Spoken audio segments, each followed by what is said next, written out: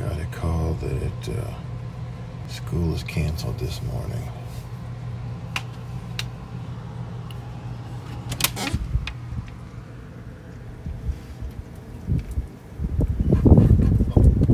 It is cold out there. The roads are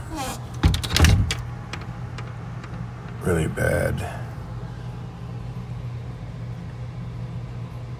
I guess everywhere this morning. That's the people that have to still get up to go to work.